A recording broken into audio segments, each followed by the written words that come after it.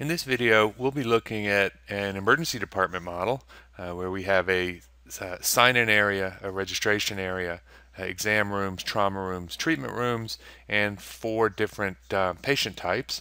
This is actually an example from the Simio and Simulation textbook, and it's model 9.1, or the model we're going to build is based on uh, model 9.1 and our focus in this in this module is on user-defined statistics. So for this model we'll look at tally statistics uh, state statistics output statistics and also we will uh, have a look at uh, an application of secondary resources. So for the emergency department model, uh, there are four different patient types as you see here. There are routine patients, moderate, uh, severe, and trauma patients, and they all follow a different uh, path. The routine patients go through the registration process, uh, an examination, and then they leave. Moderate and severe patients both uh, go from registration to exam to a treatment room, and then they leave. And trauma patients come uh, to go directly to a trauma room uh, and then they go to treatment and then they leave. And we have different priorities as you would expect for each one of our patient types with the trauma patients being the highest priority, the severe patients being second uh, highest, followed by moderate and routine patients. Another interesting aspect of this model is that when the patients are in the uh, in the exam or treatment or trauma room, they need the medical resources or the medical personnel to um, uh, to provide the medical services. And so in the exam room, uh, it can be done by either a doctor or a nurse, with the doctor having preference.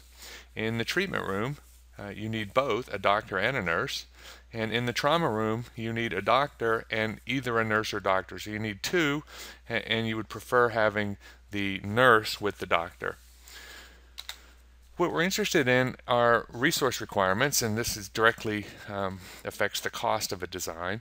And so we have two different types of resources. We have the room resources, uh, the exam room, treatment room, and trauma room, and then we have the medical staff, the doctors and nurses. And so as what happens is when a patient arrives, uh, let's say a severe patient arrives and goes through registration, they first need access to an exam room. So there's a resource modeling the uh, exam room and it has a capacity. And then you need the uh, doctor or nurse resource to come perform the exam. And so they're two different, this is this uh, application of a secondary resource. Similarly, in the treatment room, then you the patient needs to first uh, ha have access to the treatment room and then uh, have access to both a doctor and a nurse. And our interest, or our performance metrics that we're interested in, uh, in addition to the cost, is the patient waiting time. And so in particular, we're interested in the waiting time that a, that a patient spends before seeing the doctor. So from the time they arrive until they see uh, their first uh, medical professional is, is one of the metrics that we're interested in. And instead of building the model from scratch, this time we're going to start with a baseline model where I've just already built um, uh, the, the components that we've already seen in previous modules, the, the, the, methodology that we've seen in previous modules. One thing I didn't mention in the previous slide is that all of the arriving patients go through a sign-in process. So everybody comes, uh, arrives in the door, they go through a sign-in process, and that's really where the, the designation is made as to whether they're uh, routine trauma, uh, severe, or moderate. And so as you can see from my model, my baseline model, I have four different um, instances of model entity and I've chosen a different uh, color for each symbol for the entity. I have a source object and I create uh, patients uh, uh entities and I have a table reference uh, for arriving patients. So I have a patient type, uh, a priority, and the patient mix as we've seen before and the related table the treatments table gives the um, the sequence, the routing sequence that the entities follow.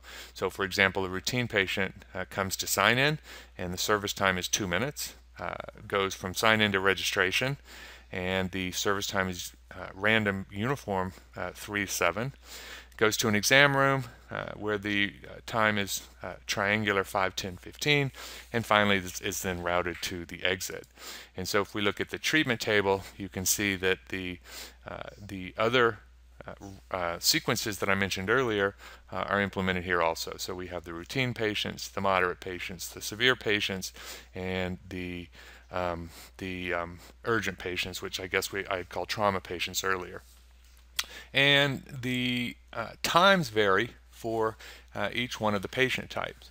And so when we go back in our model, we can see that uh, the uh, all of the entities that arrive at the source go to sign in, and then the service time from the table, from the data table, service time uh, is our reference property for processing time. And so this is what lets us use uh, specify the processing time by entity type in the uh, sequences table. Finally, the other thing that we've seen before is the use of the by sequence um, destination type. And so patients that come out of the um, uh, out of the sign-in will be routed by their corresponding sequence.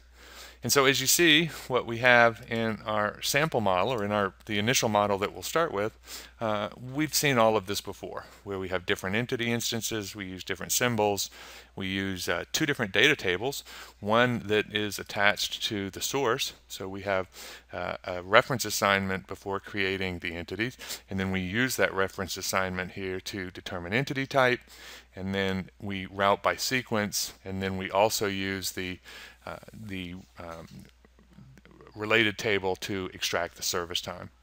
One other thing that we have is uh, I implemented the priority. You can see that all of our um, all of the resources or all of the servers I mean uh, have a ranking rule of largest value first by, by priority so registration uh, exam room uh, so on uh, and the priority is specified as routine, moderate, severe, urgent.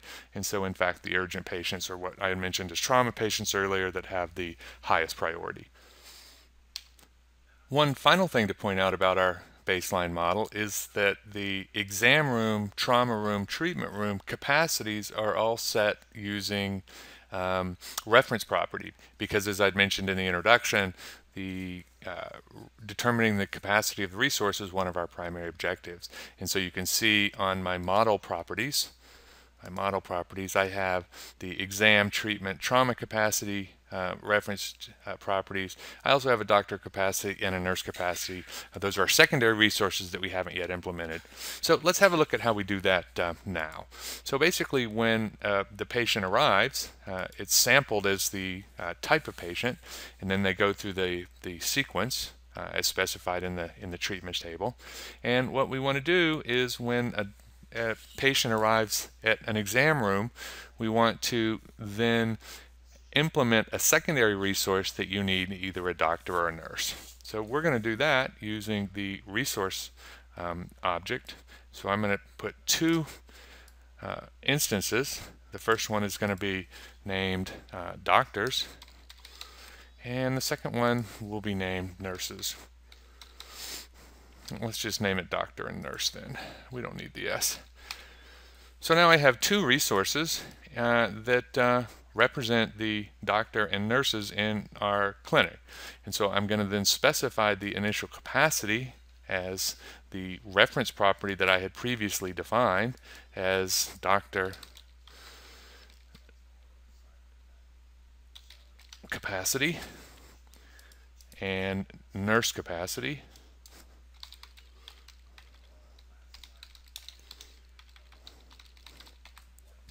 And so now we have the resources and we need to seize and release the resources uh, as required by the process. So when we go to the exam room, as we want the, the system to behave, is we want to be able to specify how many exam rooms we have and when a patient arrives at the exam room they then request the doctor or nurse so there are two separate resources one for the room and one for the doctor or nurse so we're going to do that using add-on processes that we saw in the uh, previous module. And what we want to do is before processing, when I look at the before processing add-on process, says this occurs when an entity has been allocated server capacity, but before entering uh, its processing station. So this happens after the, uh, the patient has access to the room. And so we're going to create a process. And what we will do is seize the doctor or nurse resource. So as specified in our in our problem definition for the exam room, the medical resource can be the doctor or the nurse with the doctor preferred. So we'll implement that by using uh, a list. So I need to go back to my model, uh, definitions, list, and create a list uh, that includes the doctor and nurse resource. So I'm going to call the uh, list, my list was going to be a uh, object list, and let's name our object list doctor nurse. And we'll place the objects in the list in the order of preference. So I'm going to have the doctor resource first and the nurse, uh, where's the nurse? Here it is, nurse resource second. So we have a list named doctor nurse and that list contains two, uh, two objects. And so we go back to our process and we want to seize. So we will seize uh, and open the repeat group editor and add an object name. We don't want to select a specific object, we want to select from a list. And the list we want to use, of course, is the, the list that we just created, doctor, nurse. And then we can look at the advanced options and it will give a selection goal. And so our selection goal is preferred order, which essentially means if both are available, go in preference, go in the preferred order, the order in which they're placed in the list. And that's why when we created the list, we used uh, doctors first and nurses second, so that we could uh, give preference to the doctor. Now, if we look ahead to the trauma uh, in the trauma rooms, we can see we're going to have to do a secondary seize here. This time we want the nurse preferred. And so while we're creating lists, we'll go ahead and create the um, uh, create the second list uh, to support that uh, second criteria. So let's go create another object list, and this time we'll call this nurse doctor. And in the nurse doctor list, we will just invert the order. So we're first going to have nurse, and second we're going to have doctor. Let me get rid of this. Doctor. So now we have two lists. Both of them include our two medical resources. The doctor-nurse list has the doctor first and the nurse second. The nurse-doctor list has the nurse first and the doctor second. And so using those lists in conjunction with the, uh, the um, uh, seize step, and in particular the uh, selection goal from the seize step, we can seize from the list in the preferred order. So back to our model in the exam room, we now need to specify when we release the um, uh, when we uh, release the secondary resource. And so if we look at after processing, this occurs when an entity has completed the processing time and is about to uh, attempt its exit. So in after processing, we're going to release. And when we uh, select, we're going to uh, release the object that we seized. So our object list was, in this case, doctor nurse. So I seize the uh, doctor or nurse resource when the entity arrives and has access to the room, and I release that resource uh, when the entity, uh, when the patient leaves. And so now we need to do the same thing for the trauma rooms and the treatment rooms. And so we go to treatment room and we do an add-on process, and we'll do that for before processing. And what we're going to do here is seize, if we look at our statement, in the treatment room we need a doctor and a nurse. So we need both for the, um, uh, for the treatment. So we go back and this time I'm going to seize both the doctor, so I will seize the specific resource, doctor, and the specific resource, nurse. And similarly, when I finish treatment, I will have the add-on process for after processing, and I will release both of those. So we will go to release, and we'll release the nurse and release the doctor.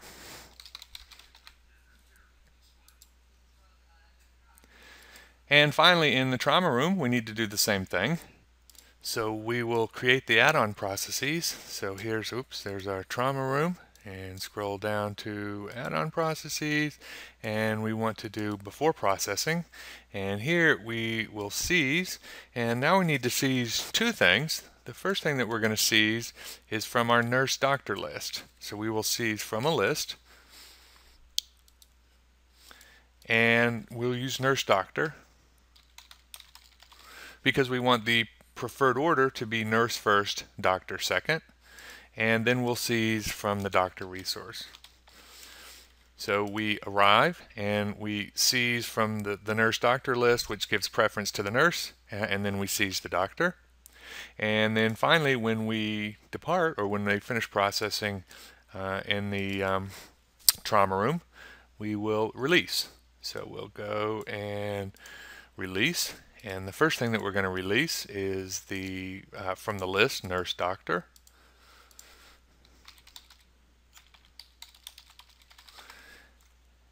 and then we'll release the doctor.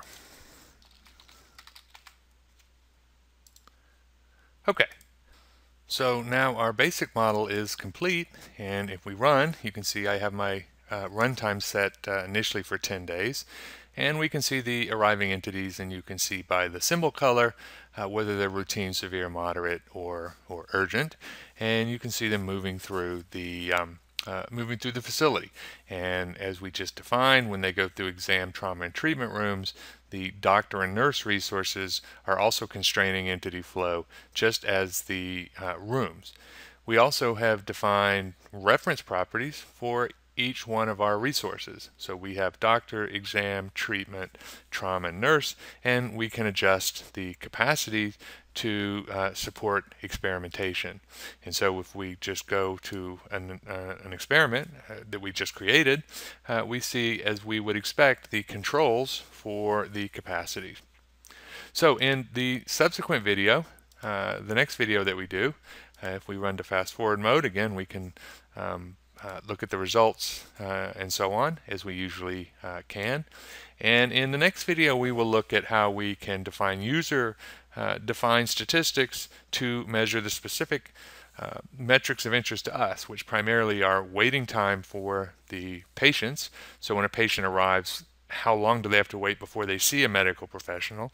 And secondly, uh, tracking the configuration cost, which is going to be a function of the uh, resources used uh, and also the waiting time of the patients.